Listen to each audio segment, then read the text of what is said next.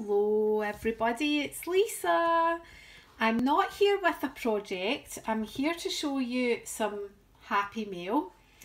And I've got one, well a couple of makes to show you but I will come back on another video and um, show you some more of the stuff I've been making. But I got this idea here from watching one of my videos by my friend Moira McDonald and Moira had posted some Happy Mail, um, a video of Happy Mail that she'd received from Caroline and she's a really lovely lady. She does subscribe to my channel, she subscribes to Moira's. She's, she lives not too far away from me actually but she had sent Moira some Advent Happy Mail and I thought it was a brilliant idea. So I actually commented on the video and said, I will be stealing this idea. So thank you so much, Caroline, for giving me this idea.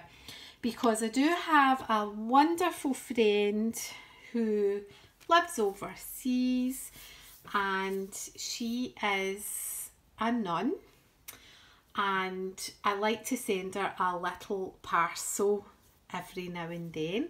So I thought this would be a fantastic thing to send to her. So it's just little things containing um, little makes, some craft supplies, that kind of thing. So uh, why don't I just run run through it and show you what I've done. So I got a box from a local store and this is I'm, I'm going to have to attempt to fit this in to be able to send it abroad um where where shall I start first of all I made up a little envelope and it's got some bits and pieces some postcards from Scotland um just various wee bits, some Christmas stuff, some ribbon. I'm not going to be able to run this in order, so I'll go through very quickly. This is a Tunnocks tea cake inside a cosy, and Tunnocks are quite famous here in Scotland They make biscuits. So that is the first one. And I haven't sealed all of these just Uh, number two is one of my little stick pins, so she can use that in one of her craft projects. Number three is the lovely little needle book that I made a while back and the video is on YouTube so you'll be able to see it if you want. And I, have made it up inside put some needles and things in one of my stick pins. That is my dog. You can hear in the background. She is in the room with me and she doesn't seem to want to settle so one of these is for my friend and the other one is for her to give to one of the other sisters. I have got a separate one for her to be able to give pass to somebody else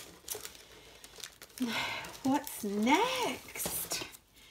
Uh, I don't know where. Yeah, this is number number four. Is a little knitted Santa boot filled with some sweets.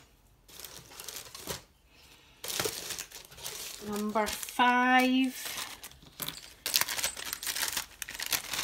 is a couple of the projects I've made in the past. The Santa's Magic Keys. This is a shaker one and uh, this is one that you hang from your door so she can decorate where it is she lives or she can pass it on to somebody else. I don't think we're going to run in order now. Right, number six, this is a good one. The glitter is flying everywhere. I made a little um, tea bag gift, a little tea holder and I've made it so that you can fit four tea bags in and it's got I don't know what that's called but there is some give in it.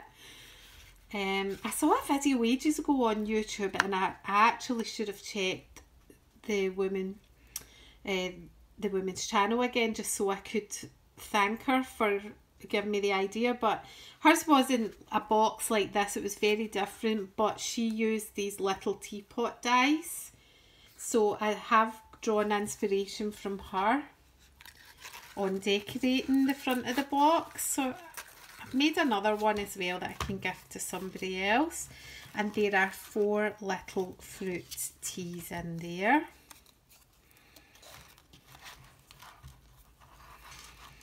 and I've just put it in a nice wee organza bag.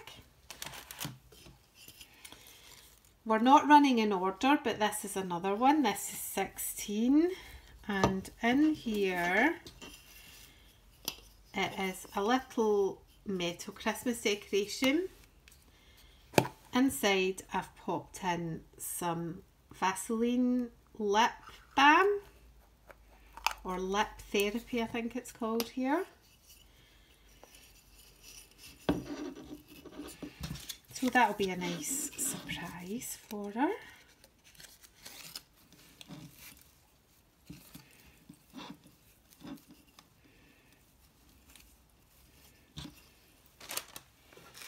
And next in this one is a pen from Culzean Castle, which is in Ayrshire and it's a National Trust property. And there is also a little reindeer pencil that I've made. Um, this is mine that that I keep, but mine's is looking a wee bit rough because it does get well used. So that's what's inside this package. This one is 17 and I have made her a little snippet tag from my snippet roll. And I've added a little clock charm. And it says here memories are meant to be made not forgotten. And I've decorated it all put a little flower. I do love the little snippet tags. So that's that's a cute one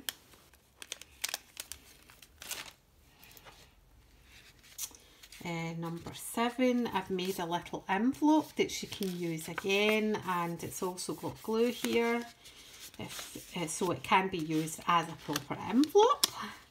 And I was at a little craft fair the other day and I picked this up. So this is made in Scotland, made in Ayrshire and it's all sparkly. Now she told me she doesn't usually decorate her office, but I'm sure she'll find somewhere to put this. And next is a little, I think it's called a little sour cream packet. And this is a Stampin' Up die, which I recently purchased. It is still on sale. It would have been sensible to actually get the stamps and the die over to my table and show you it, but there you go, I've forgotten. I'm doing this in a rush if you can't tell already. And I've got it all ready to be sealed and I've put some sweeties in here. And it's got a little stamp. And I've just stapled the ticket onto back. And here is another one. And this is going to be number nine. And in here I've got a variety of buttons, mostly Christmas ones, and some are from my vintage stash. And that's just to be sealed. And actually, there's various tops to this die, so you can add straight, you can add rounded, or you can add this one. And if I'd had more time, I would have made a reindeer themed one because this could be the ears, you could put the antlers there, a nose and two googly eyes and you could actually put reindeer food in here. So I might make that nearer to Christmas for my friends at work. And this is a little bar of my handmade Scottish Heather Honey and Organic Oats soap. So that's in there. I'm not going to open that up, but I've made a little fabric bag for it and wrapped it up. So that looks really cute. Next, I have some, this is some ball pins because she does use them. A little tag and some little glassine bags. And obviously I'm not going to be able to post this video until she receives it. So the sooner I get this packaged up and sent off the better because it is already the first week in December. It took me a little while to get it organised. After I saw the idea I was in full-blown creative mode but actually getting the time to put it all together and to wrap it up nicely has taken a bit longer.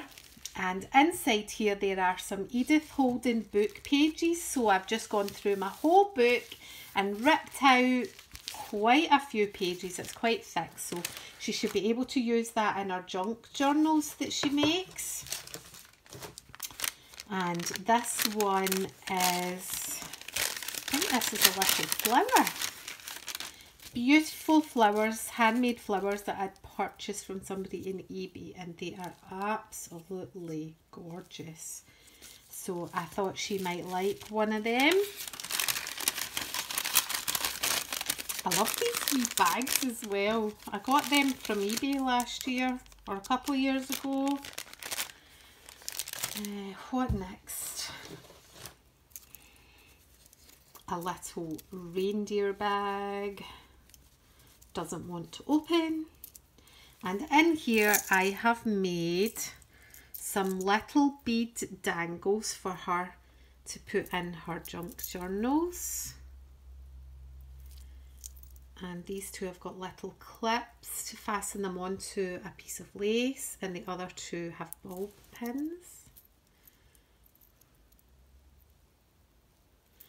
And a couple of wee charms, a dragonfly one and I love her and Snowflake and this is a wee brooch, a wee Scottish brooch that I picked up in my local charity shop or the Aladdin's Cave as I like to call it.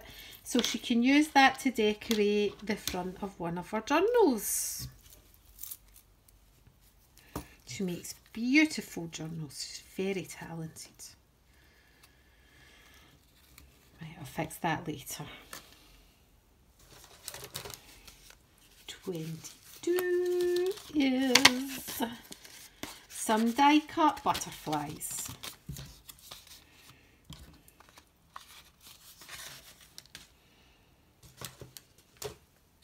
Twenty-four is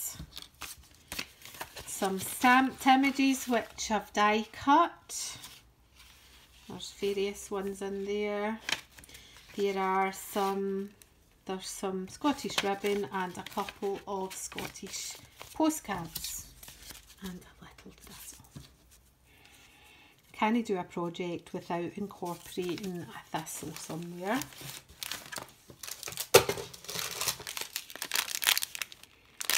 In this one is a selection of bling. So various little bits to decorate handmade flowers. And there's some bling buttons there.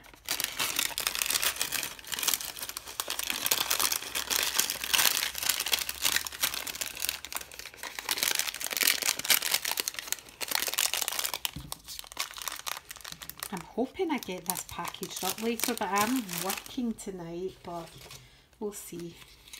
And in here, this is number 12, I have made a little cracker and inside there is an orange and mango lip balm. And here is some hand cream and a little nail file. Oh, I love this. This is my Moira McDonald inspired envelope So I learned all of this from Moira and I've made a Christmas themed one and I've kind of raised that up and I'm really happy with it and I've embossed it. I think I did go a wee bit OTT with the embossing though.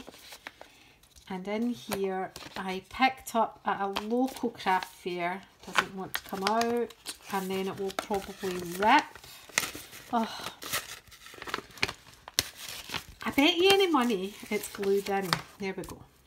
And that is a little picture that I picked up at a craft fair and this is who made it and it's the first one out of 300 so they obviously only make 300 from prints out of every image they have so this is the first one and it's in a beautiful Christmas envelope which can be used in a journal.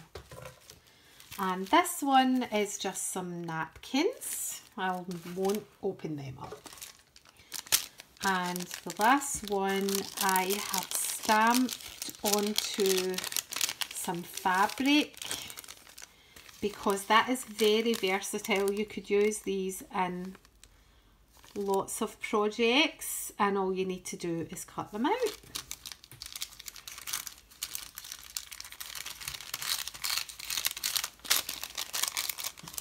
and that is that. And I have I will hopefully fit them into this box. And I made a little Christmas card. And this is my kind of trademark Christmas card this is the one I seem to make a lot. I'll show you uh, when I first start started crafting version to a current version because when I look at the ones that I've made in the past I can see how much I've came on in my card making. So um, this is really just a copy of that. And I've just layered it different sizes onto some card and we've got the wee reindeer with these googly eyes and this is such a lovely die cotton set that I got. Could it be Ellison dies? Something like that. And I ordered it. It came all the way from Holland. But I use it a lot. And there was a very similar picture to this on the front of the packaging and that's where I got the idea from. So inside I've just stamped Merry Christmas a wee tree. So that's the card I'm going to put in. And last but not least, I will show you the little reindeer hat that I have made for my little granddaughter Havana. She's about six weeks old now and our mum loves novelty hats so I have been busy making this wee reindeer hat and it was a labour of love. It's taken me longer than usual. Let's just say the hat was the easiest bit. The reindeer antlers were a nightmare and I couldn't follow the pattern right. So in the end, I kind of developed my own take on the pattern. So um, I'm hoping to take that round to her in the next couple of days and I, I can't wait to see her in it. She's going to be so cute because she is a wee cutie pie. So that's it for now. I'll come back again soon and show you all the other things I've been making but this video is long enough and thank you Caroline for the idea and thank you Moira for the video bye